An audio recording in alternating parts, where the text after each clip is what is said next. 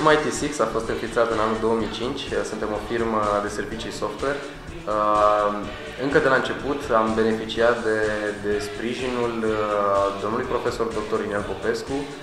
Dânsul a fost cel care a recomandat ca investiția să se facă la Craiova și nu în altă parte, deși legăturile patronului firmei ar fi fost mai degrabă orientate spre alte zone din țară.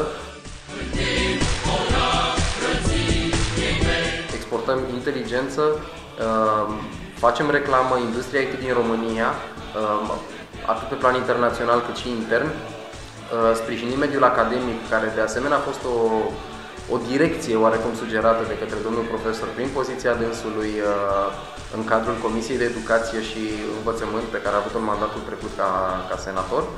Uh, ne dorim ca dânsul să continue uh, programele începute pentru zona Olteniei, ne dorim să ne poată ajuta în continuare pentru a dezvolta nu doar IT6, cât și tot businessul local și mai ales uh, mediul tehnologic față de care dânsul totdeauna a avut o atitudine pozitivă și proactivă.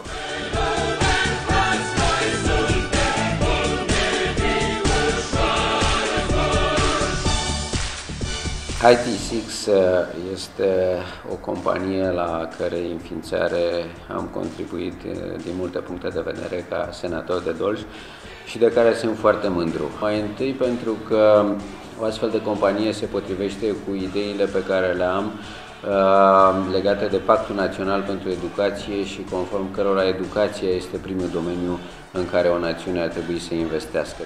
Odată cu înființarea companiei IT6, tinerii foarte dotați ai Craiovei, care altfel aveau evident tentația să ia drumul străinătății pentru a putea să profeseze la nivelul cunoștințelor lor, nu numai că au rămas aici în Craiova, dar au determinat și pe alții să rămână aici în Craiova.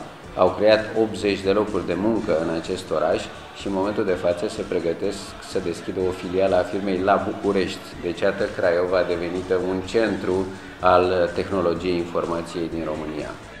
Sunt mândru de această companie pentru că e un exemplu